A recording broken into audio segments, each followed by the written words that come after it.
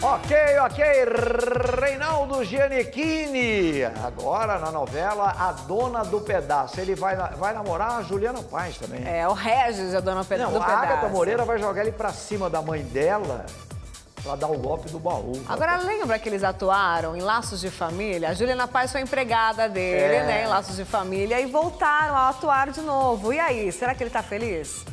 Há duas décadas atrás, a novela Laços de Família comoveu o público e apresentou diversos rostos novos, como Reinaldo Giannichini e Juliana Paz. Você me mata do coração. Mato, mato sim. E você sabe muito bem do que que eu quero te matar. Eu quero te matar Muitas e muitas noites de amor. Ó, para com isso, que pode entrar alguém. Os dois que fizeram sua primeira novela juntos agora voltam a integrar um mesmo elenco em A Dona do Pedaço. Como será que foi esse reencontro? Queria saber um pouquinho sobre esse seu novo personagem, a Dona do Pedaço, é um playboy falido aí que vira vilão. O Regis está aprontando já pra caramba, assim. Ele é, ele é um cara até que muito legal, assim, sociável.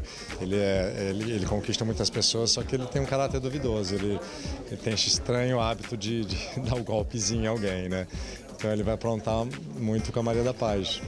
É uma parceria aí com a Juliana Paz, né, que também esteve na sua primeira novela e também era a primeira novela dela, Laços de Família. Vocês conversaram sobre isso? Ai, a dona Alma.